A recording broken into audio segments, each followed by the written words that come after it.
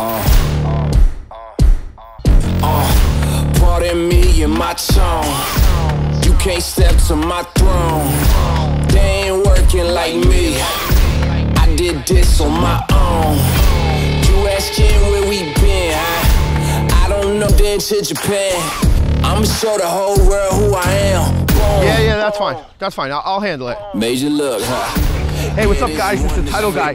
We're here at the Delray Market. You want to talk about a marketplace on steroids? This is the hottest development site and concept in all of Delray right now. Let's go take a look. I just came here to win.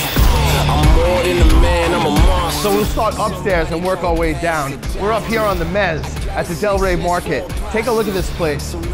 They got every type of food you could want. This is a great lunch spot, dinner spot, hang out, have a couple of drinks.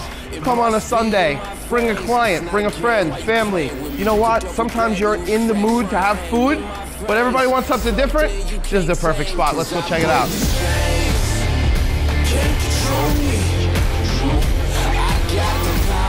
So this is a central bar. This is where you come. It's right in the middle. You got everything around you, and you could sit and lounge, have a drink, have some food, get a little appetizer, try a little thing on, on each side.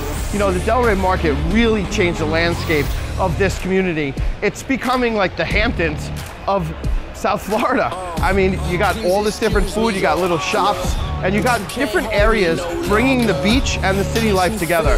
So, this is Delray, and we love the Delray Market. We'll see you later. Go ahead, try catch me if you can, man. You'll be looking all night, I'm the Sandman.